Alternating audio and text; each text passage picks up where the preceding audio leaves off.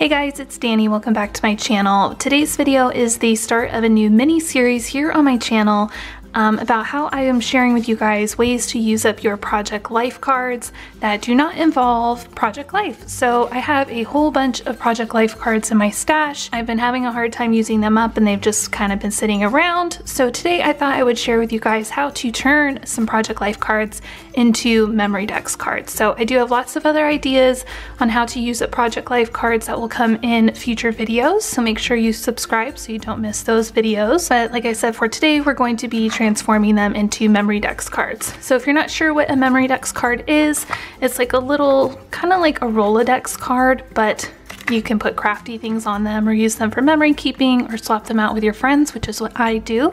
So you can see this one here. It's really cute. I received this one from my friend Serena and then this one from my friend Sabrina. So let me show you guys how easy it is to turn Project Life cards into Memory Dex cards. First, you'll need to grab some Project Life cards. So I've got a small 3x4 one, a 4x4, and then a few larger 4x6 ones.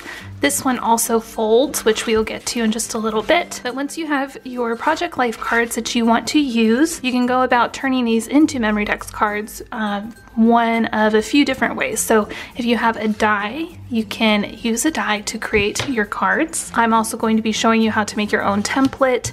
And then if you have a cutting machine, like a Silhouette or a Cricut, I believe there are cutting files online that you can get that will cut out the Memory Dex card shape for you. And you might have more luck with those if you use 4x6 cards. I'm not sure because I haven't tried that yet. In today's video though, I will be sharing how to use a die on your Project Life cards but if you do not have a die or a die cutting machine, that's okay too. We're going to be creating a template where you don't need a die or machine at all.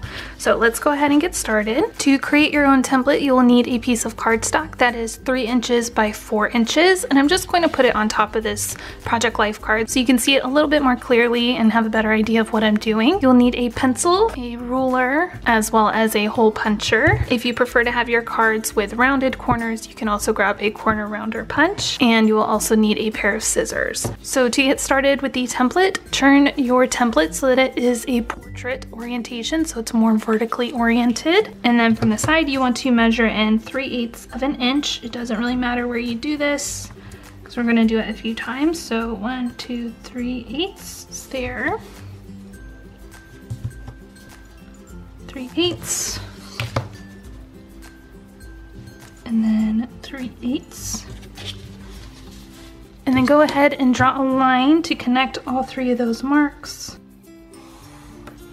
so that you have something that looks like that, okay?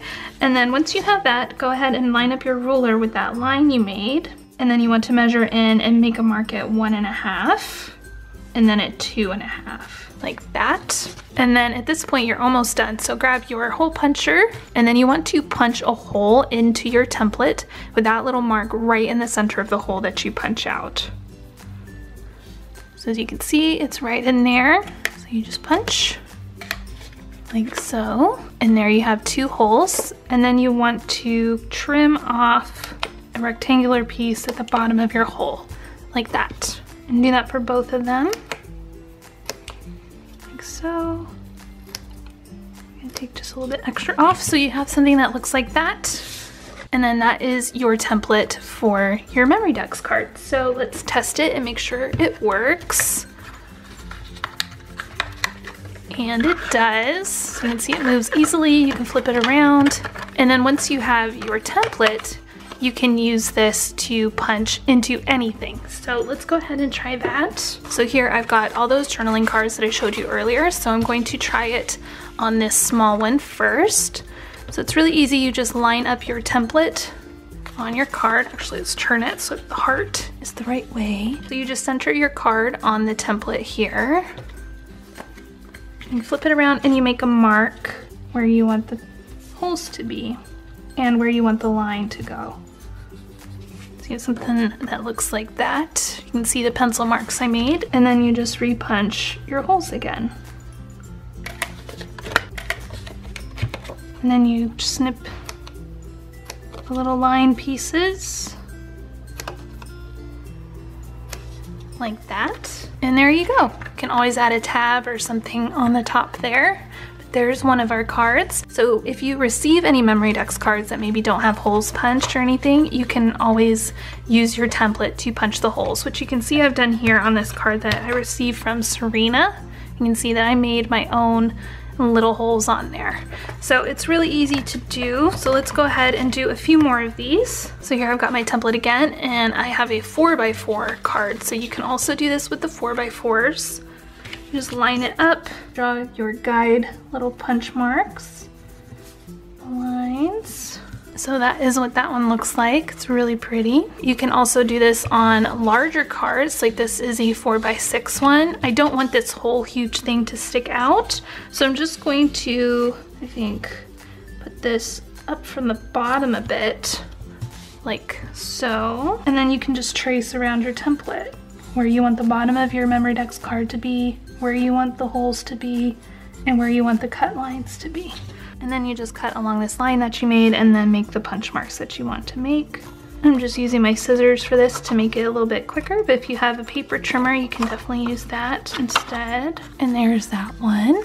This one would be nice, you could cut like a tab shape into it. So you can do something like that. So I'm just gonna use this cut off bit to help me trace around and create my own little tab template right there. And then I'm gonna use this colored line right here as a guide. So there is that Memorydex card. If you have a 4x6 card like this one that is too wide to put into your Memorydex box, you can use this template to cut it down to a smaller sized card. I actually like to put the card behind the design and then hold it up to the light so I can see exactly where the template is. So this is kind of where I want it to be. So I'm just gonna trace around this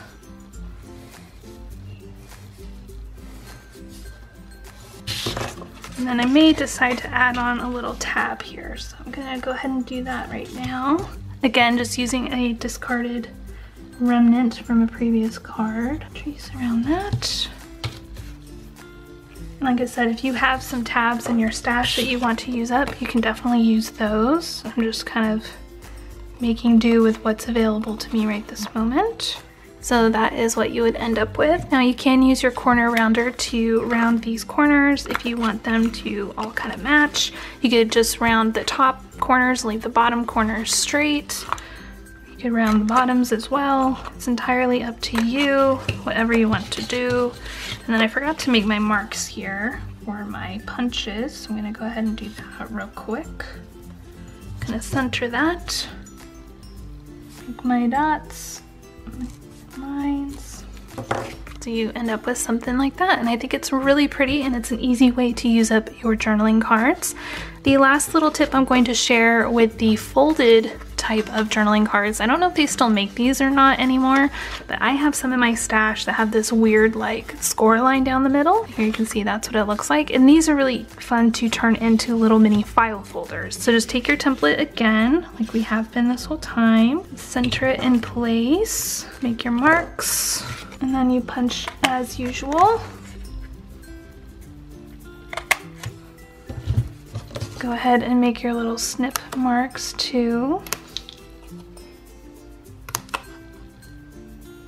Like so. And then you have a little folder that you can put into your Memorydex. You could also make little tabs here or attach a tab to the back of this. You can do kind of whatever you want, but I think it's really cute. You could hold little tickets or ephemera in here or some extra pictures or whatever you want. So let's go ahead and pop these little dudes into the box. So here's the first one we did. Here is the 4x4. So it fits in there nicely as well. We also did this taller one. I'm gonna go ahead and punch this top corner. I think that's really cute. This one is a heavier cardstock, so that's nice. It kind of pops out the top there. And then we have this one that we cut down from a 4x6. Super cute. And then this is the little file folder one.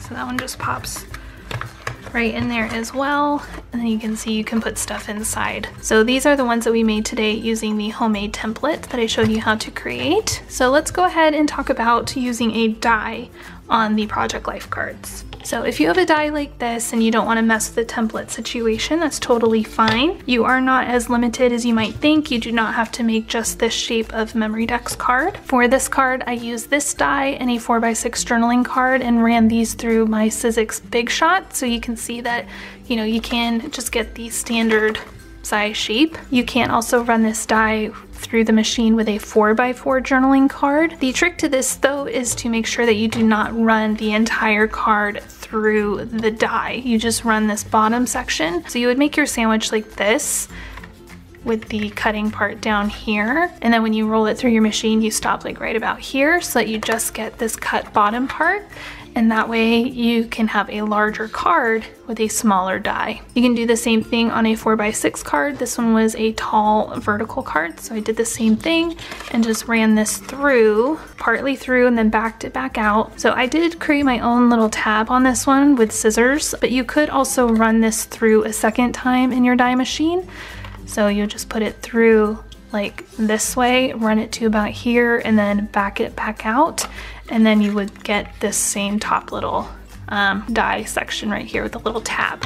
So that's something else you could experiment with. Here you can see another card that I cut out using a 4x6 card. I think this one is really, really pretty and super fun. And then I also ran a folded card through the die machine with the die for this folded card. Again, I just partially ran it through the die machine. So I ran it in to about here and then pulled it back out because I didn't want like a weird like half tab thing up here.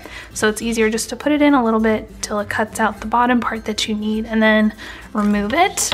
And then you still end up with this fun little folder situation that you can add a tab to if you want to. So let's go ahead and see how all these die cut ones fit into the box. Here.